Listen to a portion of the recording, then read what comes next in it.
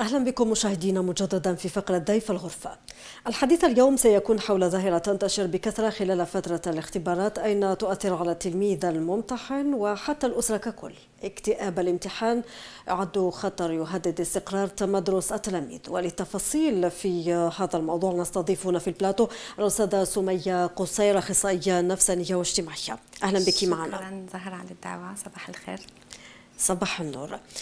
أستاذة سمية قبل الحديث عن الاكتئاب الذي يتزامن مع فترة الاختبارات هل حدثتنا أو هل القلق من الامتحان يمكن علاجه؟ أكيد. إحنا كي نتكلموا على القلق نتاع الامتحان نتكلموا على درجات. كاين درجة صغيرة نتاع القلق نتاع يعني التلميذ يكون مقلق شوية. هذيك هذيك au contraire هذيك إيجابية هي اللي تحفزه باش يراجع باش يجتهد. parce que لو كان ما كاش كاع القلق ما يقدرش يجتهد ما يقدرش يدير des efforts donc هذاك القلق الصغير مليح يعني يحفز. المشكلة كي يكون القلق يعني مرتفع شوية ويأثر ويسبب أعراض جسمية كبيرة. كبيرة. ياثر على التلميذ يأثر على العمليات العقلية نتاعو يأثر على التركيز الذاكرة الانتباه. يعني مم. كل هذا الشيء فهنا راح تأثر له على الأداء نتاعو والانتاج نتاعو. الدراسي كثيرا ما يتحول قلق الامتحان إلى فترة من الاكتئاب فترة كآبة وحزن تصاحب فترة الاختبارات. طوال فترة الاختبارات. يعني أستاذة سمية قصير هل وضحتي لنا مفهوم الاكتئاب. نعم أول شيء نعرفوا الاكتئاب. الاكتئاب وشنو هو؟ هو اضطراب مزاجي يشعر فيه الشخص بحزن شديد. يكون آه يكون آه يعني حزين يكون يفقد الاهتمام بالحاجات اللي يكون حبها يفقد المتعة بالحاجات اللي يكون حبها يعني تجيبي له تجيبي له حاجة ما تفرحوا كما نقولوا. الحاجات اللي تكون تفر... اللي يكون يصيب فيها متعة مثلا الأكل ولا الخروج مع الأصدقاء ولا فحاجة تولي ما تفرحوا. هنا يعني الشخص راهو مكتئب.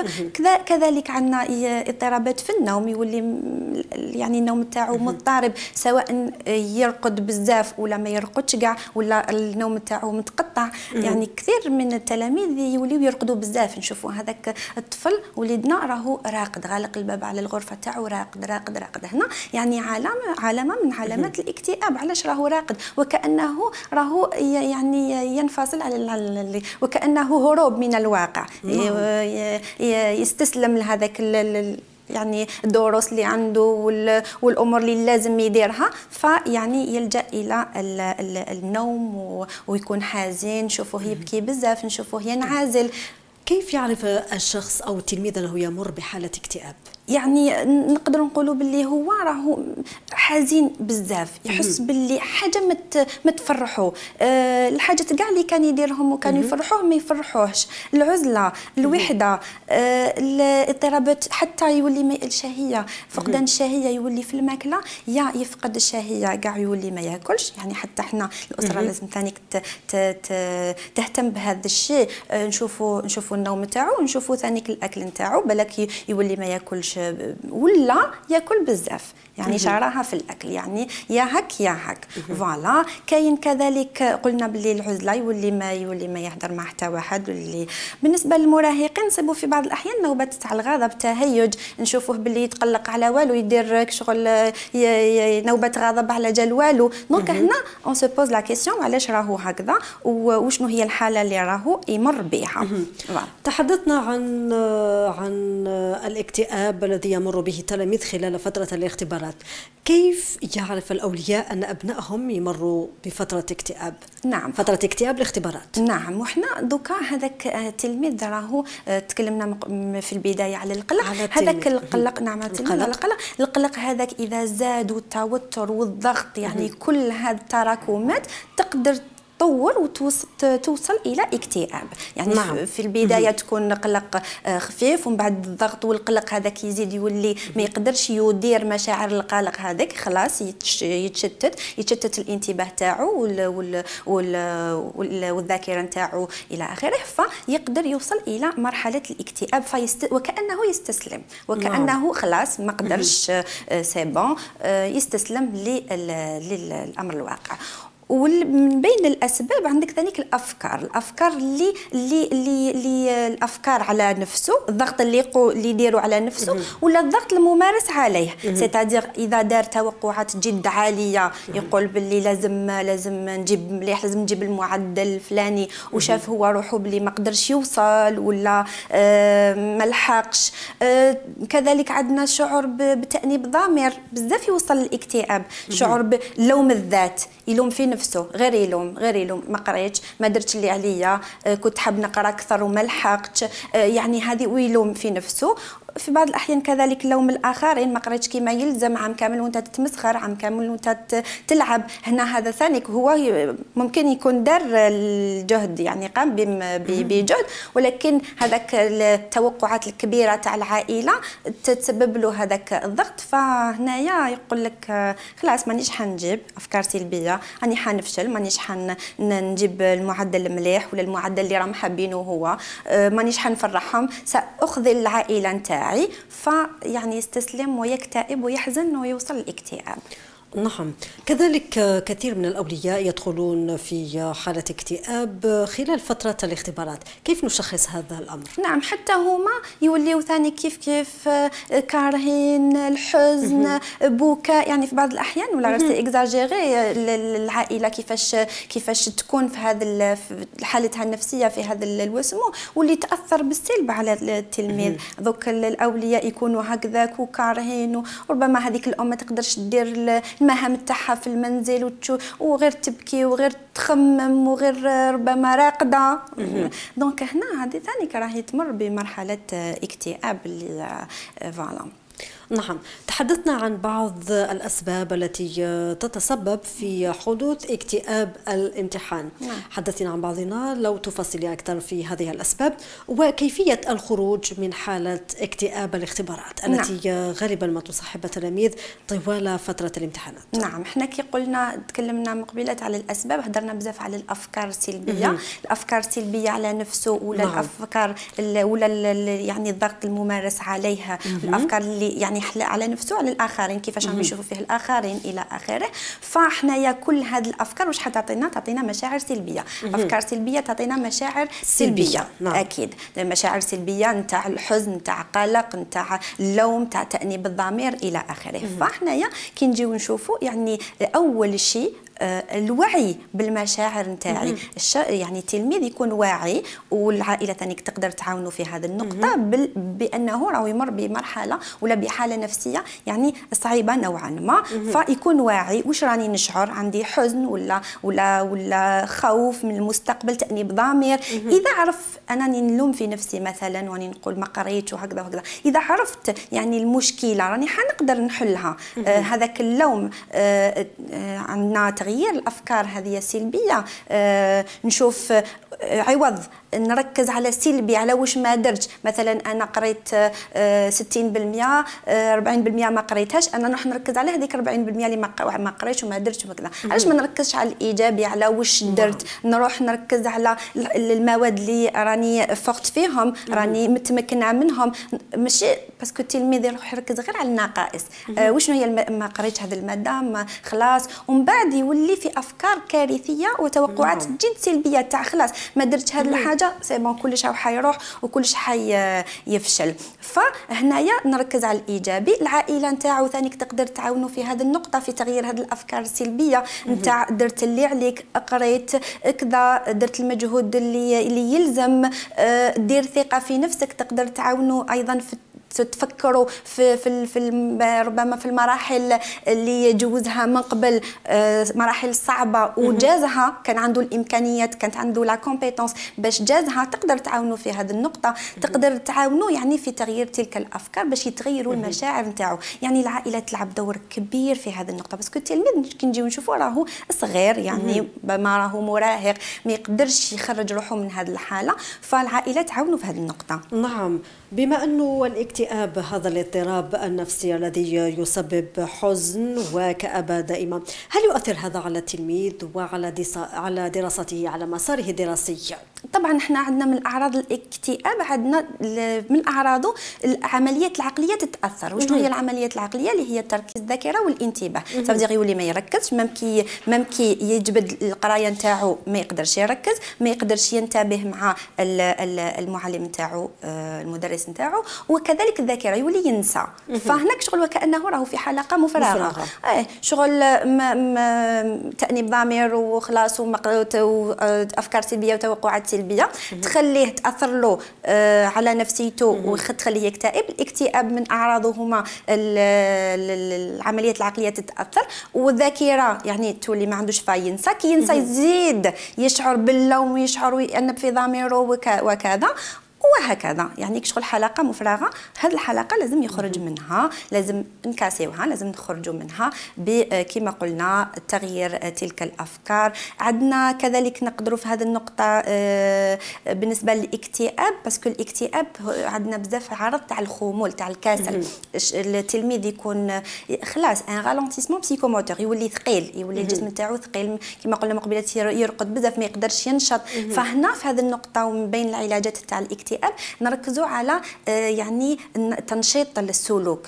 آه، هي طريقة علاجية نعيطوا لها la thérapie cognitivo-comportementale اللي فيها l'activation comportementale يعني نشطوا السلوك نتاعو. كيفاش نشطوه نبحثوا عند هذاك التلميذ وشنو هما الحاجات اللي كان يديرهم وكان يتمتع بهم مثلا يقول لك كي كنت نخرج مع صاحبي هكا في الليل ولا ولا ولا مع الحشية ولا كنت نخرج معاه نقصروا شوية كانت آه، كنت نفرح فيها. فهذيك بالذات. ما نقولولوش لا لا تقرا ما تخرج. هذيك بالذات يقدر يديرها يا لو كان يعني آه، لوقت معين نص نعم. ساعة ولا ربع ساعة ولا. فهذيك راح يتمتع فيها وكي يتمتع فيها راح يعني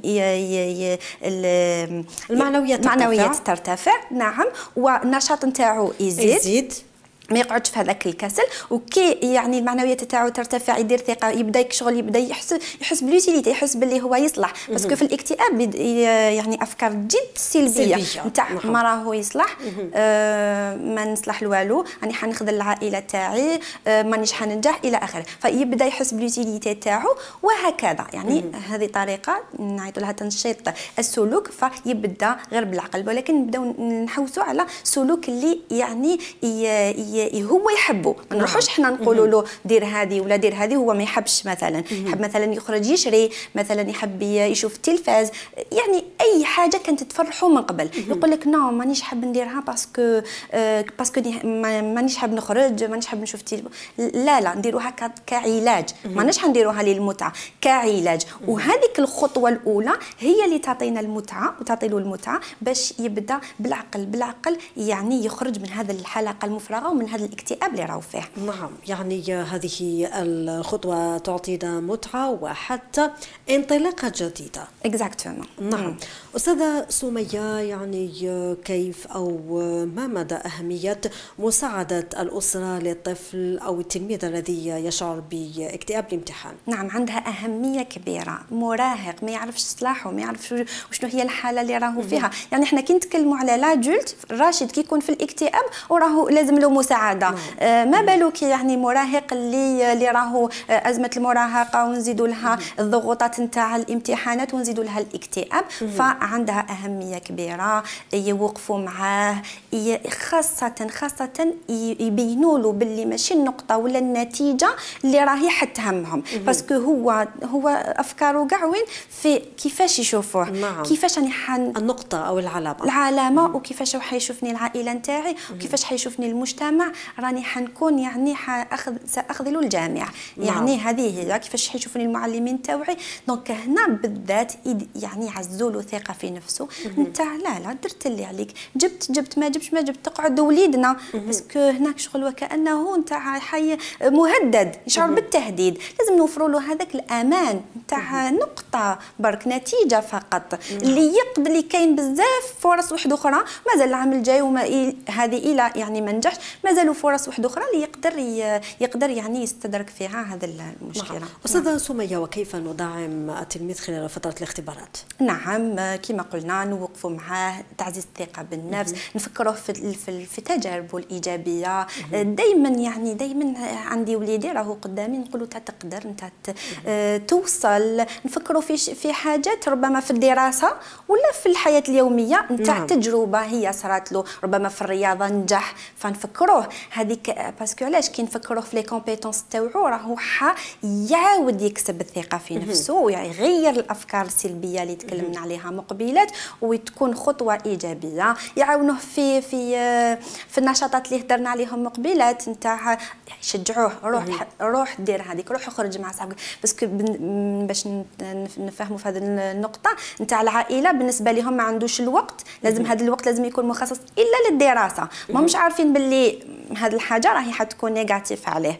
فاذا قسم وقته ويهتم بنفسه يهتم بالأمور اللي يحبهم ومع هذا يعني مع هذه النشاطات يزيد يخصص وقت للدراسة حيكون كاين توازن ما بين يهتم بنفسه وما بين يهتم بالدراسة تاعو ويقدر ينجح. نعم. نفترض أنه هنا تلميذ نعم. يعني يعاني من حالة اكتئاب الاختبارات. كيف نخرج هذا التلميذ من هذه الحالة أو كيف نعالج هذا الاكتئاب اكتئاب نعم. الاختبارات؟ نعم. نبداو مع هذاك التلميذ نشوفوا أفكاره شو يخمم؟ آه نقدر نعطيكم حالة في هذه النقطة. جاتني تلميذة اللي حتجوز الباك. آه يعني في الامتحان التجريبي هذايا نتاع الامتحان البكالوريا التجريبي استسلمت وما راحتش يعني في ما, ما قدرتش تروح. هنا شفنا باللي كانت في في اكتئاب ومن بعد استسلمت خلاص. donc donc هذاك الاستسلام هروب من الواقع باش ما نروح ما نفشل ما نخذل العائلة نتاعي. نعم. فكي تقربت منها وهدرنا وشفت باللي خايفة بزاف من ردة فعل الأولياء نتاعها. آه لوكا هما يستناو فيا داروا مجهود خلصوا les les cours. آه وقفوا معايا خلصوا بزاف دراهم خلصوا وقت كبير معايا سنة. وأنا هكا في النهاية نروح ما نفرحهمش. donc شغل ضغط ضغط ضغط. en même temps عندها من من العائلة تاعها أولاد وليد خالتها وبنت خالتها. يعني هكا مجموعة من التلاميذ اللي من الأقارب تاعها اللي ثاني كيجوزوا فهذا ثاني كيسبب ضغط parce que نعم. هناك مقارنة راكي تعرفي. نعم. ف voilà كاين مقارنة كاين وليد خالتك وعلاش جاب انت ما جبتيش. فهنا هذه الأمور كاع ندرسوها. نتعاملوا كذلك مع الأولياء باش باش يخفوا هذاك الضغط باش يخليوها تقرأ مرتاحة. فمن بعد في النهاية آه، خرجنا بخلاصة نتاع تروح ومعليش ما تجيبش. يعني تروح يا لو كان تروح parce que حنا خلاص استسلام. المكتئب يقدر يوصل للاستسلام. يعني في معظم الأحيان يقول لك ما نروحش. كاين بزاف اللي ما يروحوش يستسلم يقول لك أنا آه، تجنب من يتجنب كاع la situation ف آه، فالخلاصه خرجنا بأنه تروح. وهذه الأيامات المتبقية اللي بقاو للبكالوريا وقيلا ثلاث أسابيع على ما أظن. فهذه هذه الأيام المتبقية تقرا يعني واش قدرت. أن هنا واش رانا نشوفوا رانا نشوفوا بلي صحتها النفسية والعقلية راهي في خطر دونك حنا كما نقولوا نديروا الأولوية للصحة النفسية نعم. والعقلية. بما أنه لا تفصلنا عن حلول الامتحانات المصيرية إلا أيام قليلة آه، كيف نرافق أو كيف يرافق الأولياء التلاميذ خلال هذه الفترة؟ بالتشجيع بالتحفيز آه، الابتعاد عن التهديدات. كاين ما يخفالكش باللي حتى يوصلوا حتى للتهديدات. إلا ما جبتش يصرى لك هكذا التخويف والتهديدات نبتعدوا على التخويف التهديدات parce que هذو ثاني يكونوا يقدروا يكونوا سبب كبير في الاكتئاب نتاعنا. donc نبتعدوا عن التهديدات والتخويفات. نوفروا لهم الجو هذاك الآمن نتاع التشجيع نتاع آه، تعزيز الثقة بالنفس نرفعوا له الثقه بنفسه نتاع نطمئنوه باللي تجيب ولا ما تجيبش. يعني آه، المهم الجهد المبذول بذلت جهد هذاك هو الصح خلاص. ما يهمناش النتيجة. النتيجة إذا كتب ربي جبتها جبتها. إذا ما كتبش ربي ما كتبش ربي. فوالا. نعم. هل أستاذة سمية قصير هل من نصائح تقدميها للأولياء؟ يعني آه، لمساعدة أبنائهم للتلاميذ والأولياء لمساعدة أبنائهم ليتخلص من الخوف والقلق المصاحبان لفترة الاختبارات. يعني أنا في النهاية وش نقدر نقول لهم؟ نقول لهم باللي الصحة النفسية والعقلية. نتاع أولادكم حتى رهاب الامتحانات. حتى رهاب الامتحانات. نعم الصحة النفسية والعقلية. نتاع أولادكم مهمة كثير يعني آه، أمام النتائج. يعني كي نشوفوا مقارنة بصحته أو حي حي يكتئب ويدخل في في حالة اكتئاب وما عارفة كاع واش يقدر يصرى. parce que الاكتئاب يقدر يوصل لنا الافكار ما تخفالكش باللي يقدر يخمم في الموت. parce que نعم. الاكتئاب سي سي يوصل للموت يقدر يوصل للانتحار يقدر يوصل إلى تعاطي المخدرات pour soulager هذاك الاكتئاب رانا مع مراهق pour soulager هذاك الاكتئاب وهذاك الضغط وهذاك الآخر يقدر يوصل إلى إلى إلى تعاطي المخدرات إلى اخره فنقول لهم صحه النفسيه والعقليه نتاع اولادكم اهم من النتائج الدراسيه شكرا الأستاذة سمية قصير الأخصائية النفسانية والاجتماعية. شكرا على كل هذه التوضيحات والنصائح التي قدمتها للتلاميذ والأولياء شكرا لك زهرة. العفو. مشاهدينا إلى هنا ينتهي موعدي بكم مع فقرة ضيف الغرفة. نلتقي بعد الفاصل.